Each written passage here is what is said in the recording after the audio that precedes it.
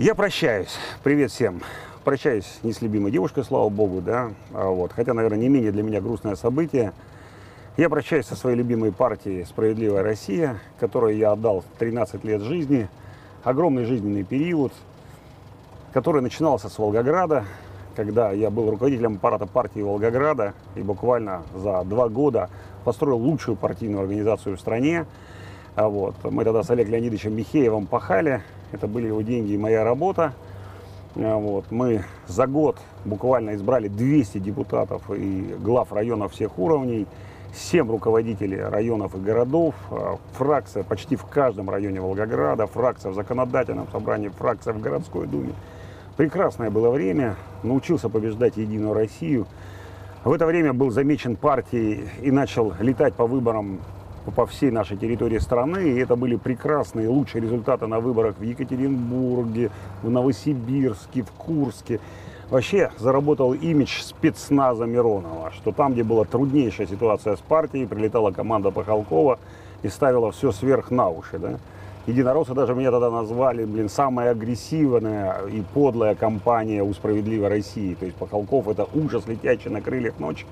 Хотя на самом деле ужаса никакого не было, то есть потому что в чем ужас? Мы всегда были оппозицией. Если мы сделали хоть какое-то противоправное действие, то сразу бы, наверное, сидели в тюрьме и никаких выборов бы не совершили.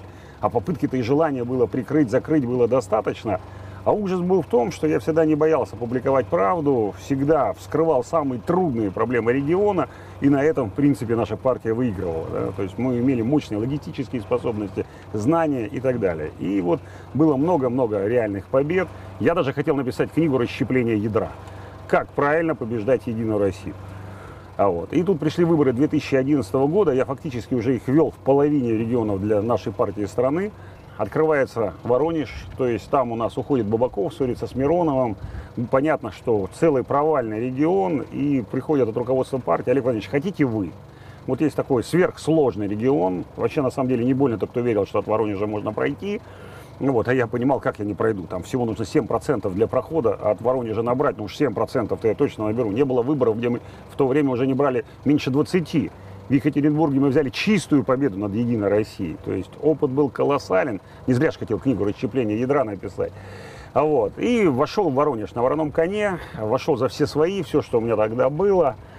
А вот. Вложил в эти выборы все, что заработал, так сказать, на других выборах, вложил в эти выборы. Драка была славная, не рассчитал немножко господин Гордеев оказался очень крепким противником. Я вообще не ожидал, что Воронеж правда окажется очень крепким орешком, потому что другие регионы, такие, допустим, как Вологда, мы кололи на раз-два. Там Единая Россия плыла и сдавалась запросто, да. Но эти ребята оказались прочные. Битва была такая, что в день выборов арестовали 700 моих наблюдателей. Ну, просто выкинули, где-то закрыли в милицию, арестовывали прямо автобусами, загоняли на избирательные участки, загоняли в милицейские участки. Люди там в туалет не могли по суткам сходить. Но несмотря на это, 15% я взял, я получил мандат. Я считал это большим проигрышем, потому что я хотел взять 25 как минимум, да, то есть э, Гордеев и его команда единороссов считала, что они проиграли, да, потому что для них это было вообще, они клялись, что я не пройду на этих выборах, я вообще не понимал, как они собираются это сделать. Но так как началось вход в Воронежской области у меня такая с территории сильного противостояния, началась такая длительная затяжная война, и Миронов меня назначил руководителем Воронежской партийной организации. Ситуация была крайне сложная, потому что, как один мой товарищ сказал про господина Гордеева, Гордеев настолько крепкий, что у него гвоздь в стену не вобьешь, все занято. И поэтому сформировать мощную партийную организацию, конечно, было очень трудно. Я ребят лелеял вот по кускам. Предательство. Один предал, второй предал, десятый предал. Но потихонечку, за 4 года я сумел все-таки создать команду, которая но выглядел уже одним из лучших партийных отделений. Кстати, Миронов прилетел и был очень удивлен партийной организацией в Воронеже, насколько она была сильная, мощная и так далее. Но не все предатели. Всегда можно найти того человека, который, несмотря на бизнес, несмотря на трудности, не поступится и не бросит тебя. Кстати, принципы построения партийной организации строил так, что, ребята, я вам ничего не могу предложить, кроме того, что я вас не кину и всегда буду за вас до последнего патрона. От вас прошу того же самого. Да, возможно, мы что-то потеряем, но на длинную мы все равно выиграем, потому что мы вместе. А вот. А тогда наша партия поставила условие, что в следующую Государственную Думу пойдет тот, кто выиграет выборы законодательного собрания и городской думы. Администрация Гордеева поклялась, что ни те, ни те выборы мы не выиграем. И я понимал, что в этот раз будет все гораздо сложнее, что я встречусь с бетонной стеной. И это действительно была битва. Битва была насмерть, блин, то есть в результате которой получился, наверное, один из лучших моих фильмов о выборах, как фальсифицировались выборы в Воронеже. Но несмотря на все это, фракция и в законодательное собрание пошла, и в городскую думу, да, не самыми лучшими результатами, но одними из лучших по стране, то есть для нашей партии, я имею в виду. Поставленную задачу я выполнил. Кстати, мы тогда с Татариновым, с руководителем аппарата, то есть он мне поклялся, что я не пройду. Я говорю, Татаринов, как ты думаешь, там, почему-то я не пройду? Он мне проспорил ящик коньяка. Ну, кстати, к чести его отдал мне ящик Хеннесси. А, вот. Выборы мы все-таки в Воронеже выиграли. Хотя, говорю, победа, там, потери были колоссальные. И людские, и моральные, и просто мы были измотаны. Вот. Ну и тут э, команда губернатора пошла уже другой дорогой. Она поняла, что вышибать меня надо любыми методами. В это время в, в Воронежской области очень сильно развился мой информационный проект «Блокнот» и сделал тысячи хороших дел. Да. И сегодня главный лозунг «Блокнота», он, кстати, выработался именно в Воронеже. Мы делаем мир лучше. То есть вот сегодня главный э, лозунг «Блокнота». Мы долго искали, кто же мы и почему мы. Мы делаем мир лучше. Вот. Когда все чиновники в администрации города, в администрации области утро свое начинают с блокнота, когда они готовятся на планерке хоть к губернатору, хоть к мэру, хоть к какому-нибудь министру, уже они говорят, мы сразу уже приходим с отчетом, с отчетом приходим, да, о том, что вот блокнот написал, вот что мы сделали, или отреагировали и так далее. И сегодня, кстати, в Воронеже строится очень хорошее гражданское общество, что жители знают, что нужно написать блокнот, блокнот отреагирует, а чиновники сделают. Ну, на самом деле, за это, кстати, стоит уважать команду Гордеева, и вообще, кстати, к Гордееву отношусь очень хорошо, то есть он реально крепкий парень. Ну, серьезно, то есть он реально крепкий парень. Вот. А, и, конечно, администрация области сделала все, по моему пониманию, глубокому убеждению, может быть, я и не прав, они сумели коррумпировать аппарат, и аппарат сделал все для того, чтобы Миронов меня вышиб из Воронежской области. То есть сформировали мнение, а я думаю, что такое, прихожу к Сергею Михайловичу, а он все куксится на меня и куксится, что-то то не так, это не так, у меня лучшее отделение, мы делаем то, мы делаем то, но я же на аппаратных э, планерках не присутствовал, где, оказывается, каждый раз докладывали, что а вот в Воронежской области то плохо, а вот в Воронежской области это плохо. Не знаю, как было плохо, выборы все побеждаем, а так плохо, то плохо, то плохо. До сих пор сегодня в Воронежской области рейтинг «Справедливой России» один из самых высоких.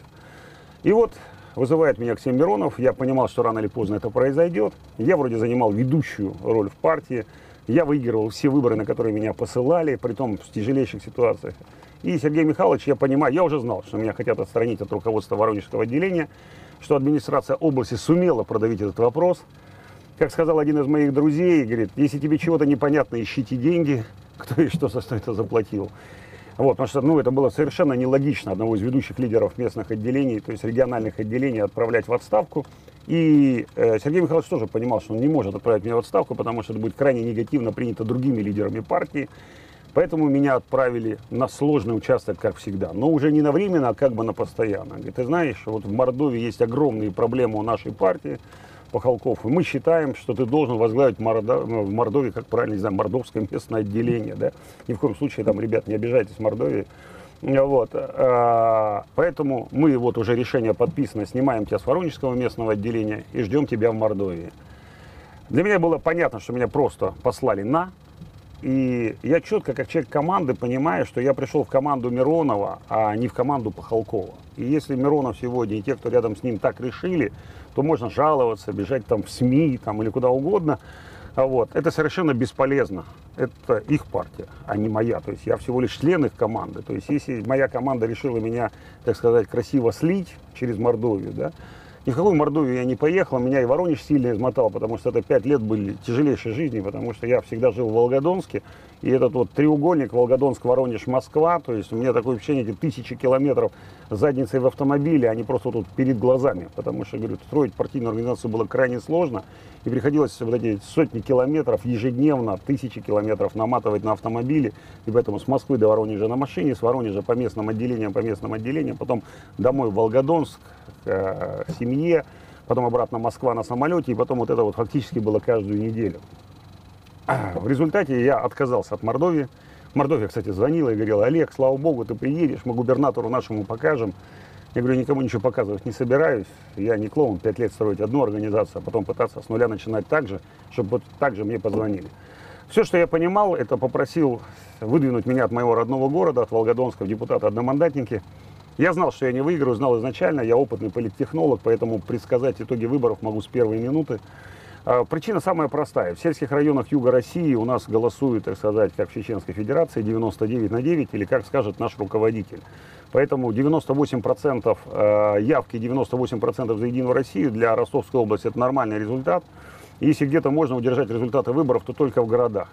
Но беда моего города, в котором, так сказать, я вырос, который я люблю, в котором я живу, он маленький. Это всего лишь треть избирательного округа, 160 тысяч населения. Еще 300 тысяч с хвостиком населения живет в сельской местности, для которых я тоже любимый, знакомый, я самый узнаваемый на территории своего округа, потому что у меня есть газета «Хозяйство», самая читаемая самая подписываемая в этом регионе. В некоторых дом, селах, в каждом, в хуторах и станицах, в каждом втором доме. Часто говорю селах, потому что сам из Вологды, то есть уроженец, да.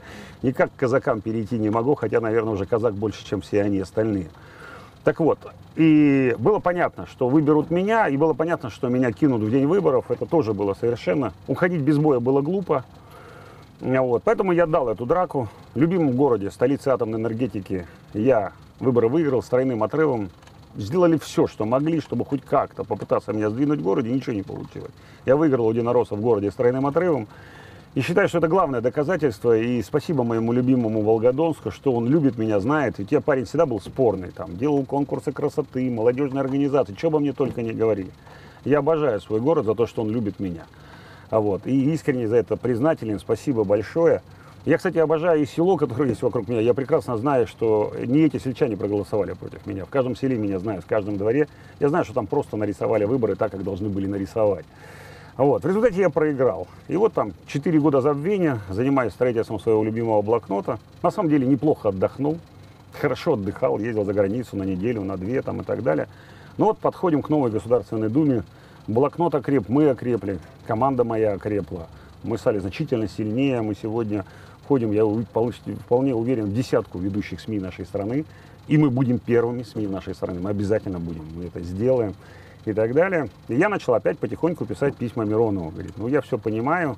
Я парень понятливый, я понимаю, что в политике продают, когда продают. А, кстати, вот такой интересный момент хотел рассказать о том, что как я здесь избирался, да, вот такая обида очень мощная. Наступил такой момент, когда по Волгодонскому округу они поняли, что я выиграю. Я выиграю единороссы, деваться им некуда. Вот. И по сельским районам они сняли у меня наблюдателей. Просто моя партия сняла моих наблюдателей в день выборов, за два дня до выборов. Я был шокирован. Я звонил Миронову, возмущался, Миронов трубки не взял. Руководитель аппарата Татаринов говорит, а что я, а что я? Михаил Емельянов, есть у нас такой лидер «Справедливой России» э, Ростовской области, он был согласован что его, так сказать, а он уже такой тело-тело, которое заносят каждый раз в Государственную Думу, там, с узнаваемостью ноль, с рейтингом ноль, там, ну и так далее, и так далее. И он был согласован, как нужный человек партии от одного из районов Ростовской области, что он станет депутатом Госдумы. И Емельянову поставили условия. Либо он снимает наблюдателей у Пахалкова, либо он не избирается депутатом Государственной Думы. Административный ресурс не работает. Емельянов, как честный человек, конечно, сразу снял наблюдателей с моих выборов. Я говорю, вообще понимаете, мы партия или не партия? Снимают наблюдателей «Справедливой России». На что Емельянов сказал, Пахалков хочет э, фальсифицировать выборы. Как я мог фальсифицировать свои собственные выборы? Вот это самая э, глупость этой ситуации. Вот. И я вот об этом и говорил. Вы понимаете, что я буду защищать «Справедливую Россию», потому что я кандидат от города Волгодонска, от Волгодонского одномандатного округа. Ну, факт остался фактом, да, то есть э, моих наблюдателей сняли, я остался без наблюдателей в сельских районах, и выборы как раз там я и проиграл. Я потом думал, ну как так, Емельянов обыграл, почему он сумел это добиться? Миронов, наверное, все-таки не понимал, что я стою за партию. Сейчас, наверное, или уже совсем повзрослел, в этом году 50 будет. Я понял, нет, все Миронов прекрасно понимал. Поставили жесткие условия. Или Емельянов, или Пахалков. То есть двоих от Ростовской области не будет. И просто Миронов выбрал Емельянова. О партии речь вообще не стояла. Сколько партия наберет? Много, мало? Нет. Справедливо это, несправедливо. Просто справедливо было выбирать. Ну, если сейчас Пахалков выиграет по этому округу, значит Емельянов не выиграет потому. Поэтому, я думаю, Михаил Васильевич просто упал в ноги Миронову и сказал, ну, вы же не хотите меня сливать, я же ваш товарищ, верный соратник, поэтому давайте Пахалкова сольем, так сказать, а я останусь. И просто был банально, цинично сделан выбор в пользу одного, не в пользу другого. Ну, вот как бы так. А, вот 4 года прошло, я оставался там с партийным мандатом, да, я партийцем. И я смотрю, что партия никак не хочет меня вставлять ни в какую игру, хотя вроде и силы, и мощности есть. Я понимаю, почему. Ну, стыдно, неудобно, трудно общаться с тем, кого как бы кинули, швырнули, кто силен, и может наказать и отомстить. Вот, поэтому партия делала вид во всем, что меня нет. Ну, вот просто нет и все. И для них самая большая радость, наверное, что если я, наверное, тихо уйду из политики и, наверное, больше в нее не приду. Ну, такой радости я своей партии, к сожалению, предоставить не могу. Ну, вот реально не могу. Вы знаете, в нашей партии есть очень много хороших ребят. Кстати, моих друзей. У нас вообще классная партия была. Партия сильных регионов, сильных руководителей региональных. К сожалению, отношения в партии иногда вот были поставлены неправильные. Я это, знаете, как называл? Такой бассейн с дерьмом, куда мы все, так сказать, с товарищами ныряем и плаваем на перегонки со всеми, вот без правил. Можно топить, кусать, убивать, там, что хотите делать, да, выныривать. А вот отмываться потом от этого дерьма и идти, так сказать, опять вместе общаться. Мне это никогда не нравилось. Мне вообще не нравилось, зачем в партии создали такую внутреннюю атмосферу. Моя супруга говорила, что почему-то все это мне такой убитый перед днем выхода работы в Государственную Думу. Ну, реально, я всегда был каким-то вот убитым, потому что, вы знаете, я умею плавать в бассейне с дерьмом, но мне это не нравится. Мне не нравится топить своих товарищей, мне не нравится подставлять, мне не нравится играть, при том с теми, кого ты реально уважаешь. Я не буду говорить, кого кто остался друзьями или тех, кого я уважаю в партии сегодня, да, чтобы не навлекать на них какую-то беду. Ну, там, правда, еще осталось много хороших ребят. Но я вас оставляю и могу сказать, что я не собираюсь уходить из политики. Уж в какой форме я вынырну, наверное, мы узнаем в ближайшее время. Но, наверное, все-таки я думаю, что я создан для политики и должен послужить нашей Родине. Всем привет!